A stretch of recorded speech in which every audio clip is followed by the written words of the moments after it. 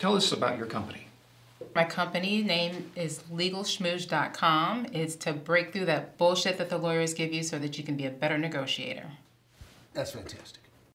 We help you break down the bullshit that those lawyers send your way. That's, that sounds hot. Absolutely. We help you negotiate and break it down, get their prices down, and, and, and make them sweat. Eh? Nice. Well, you're just giving them back what they give you. Mm-hmm. They deserve it. They're assholes.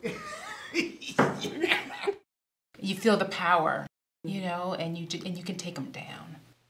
You can take those asshole lawyers down. My dad is a lawyer. You're done.